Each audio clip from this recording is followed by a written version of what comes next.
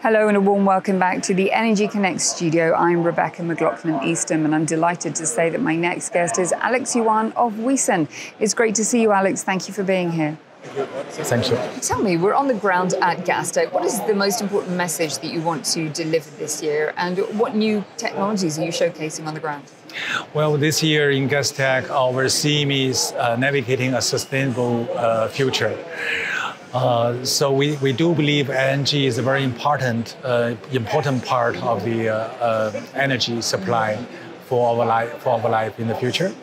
It's not only a transitional fuel, uh, but also I, we believe it's it will be continuing to be a part of the energy supply to the whole whole world.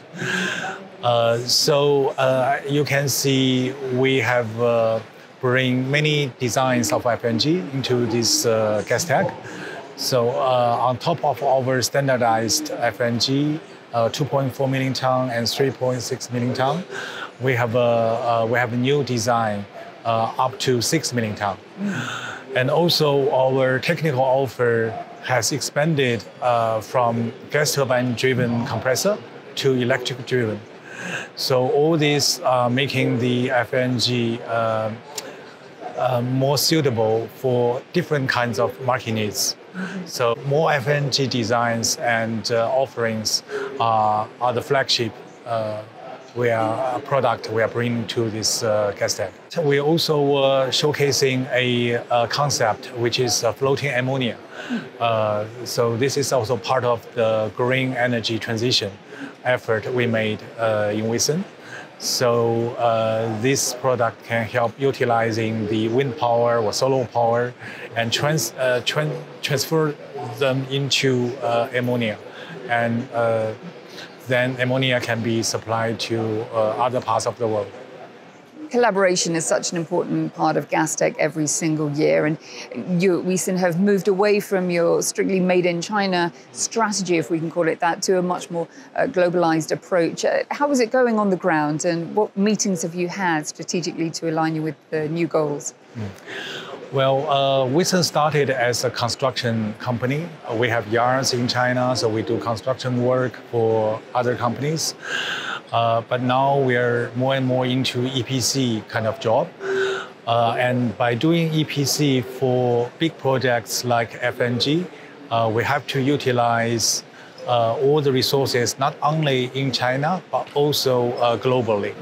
So uh, for the Anguilla project, for instance, we are cooperating with big industry suppliers such as Baker Hughes, Chart. So they are a very integral part of our solution. So uh, this is uh, allow us to utilize the uh, most advanced technology in the world uh, and working together with them uh, and make the offer uh, make the offer part of a, a Chinese solution based on the global supply chain. And the roadmap for 2026 looks good for more partnerships and collaborations, does it? Yes. So for partners, uh, okay, uh, we, I'd like to start with uh, our clients. So uh, I think now we have uh, demonstrated that Wison can provide reliable EPC solutions to the to the industry. Uh, we are talking to the oil majors at the moment. So more and more people they are interested about our offer. Uh, such as okay, we're talking about the uh, uh, Argentina project with YPF, uh, with uh, with Eni, with Shell, and with Total. You know all these oil majors, uh, and also Petronas. So hopefully we will expand our service to all these major clients.